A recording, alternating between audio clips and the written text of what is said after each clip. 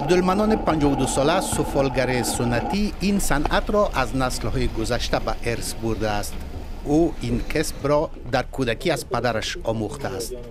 امروز او یک استاد حرفه‌ای است و انواع سرامیک ها از بشقاب گرفته تا گلدان و سایر اشیای تزئینی را تولید می‌کند. اما عبدالمنان می‌گوید تجارت سفال تحت تاثیر ناامنی قرار گرفته است. او دیگر نمی‌تواند کار خود را برای فروش به استانهای دیگر ببرد. مردم هم سراغش نمیآیند. در هر ولایت لوگر مثلا غزنی مزار ایرات اینجا میبردن مردم ها کل از این استفاده می‌کرد در هر قشلاق میگشتاندن. امیت خوب بود. مردم در هر جای می‌رفت در هر ولایت در هر ولسوالی اونجا می‌رفتن اوقاتا بسیار فروشات ما خوب بود. عبدالمنان می‌گوید به دلیل اوضاع امنیتی عدم حمایت دولت و بحران اقتصادی تعداد سفالگران در منطقه به طرز چشمگیر کاهش یافته است. یعنی می هر کدامش که در کار رفت مثلا در قالین بافی رفته در دکانداری رفته در پیش تجارت در هر کاری که رفته. دیگه زیاده مردم ما این کار فعلا نمی‌کنه یک مردم ما کم اینجا هست همین به کار از کار می‌کنن دیگه اشکی نیست. در کار رفتن در شهر. استالف واقع در 29 کیلومتری شمال شهر کابل از 100 سال به این سو یکی از محلات مهم این صنعت در افغانستان است.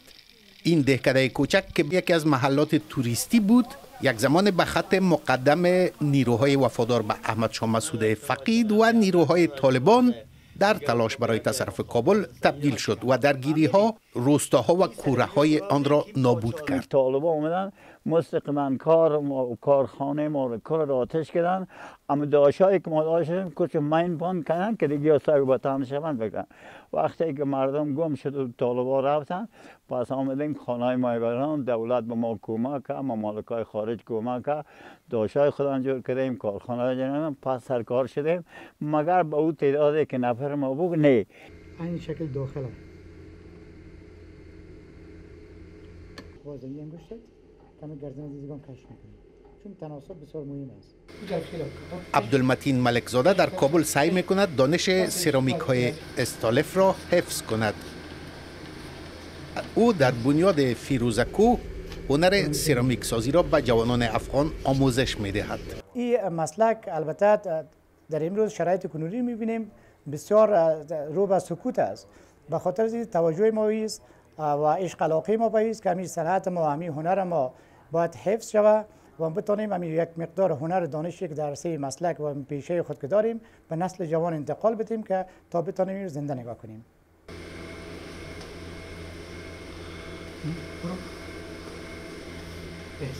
این فکس می کوشش که من اگر کم زیاد بگیر بازی با ویروس کرونا و اثرات آن در مشاغل و مدارس در سراسر جهان کلاس های ملک زاده نیز از این قاعده مستثنا نیستند. او کلاس هشت نفره خود را به دو گروه تقسیم کرده است. نظر به می شرایط کرونا که در شرایط دشوار بود در افغانستان و به کل دنیا در این خاطر گروه کمتر ساختیم و پارت ساختیم که یک پارت ما مثلا می آید همین چهار نفر چهار نفرش می پارت دوم. با این خاطر چالش پیدا شده.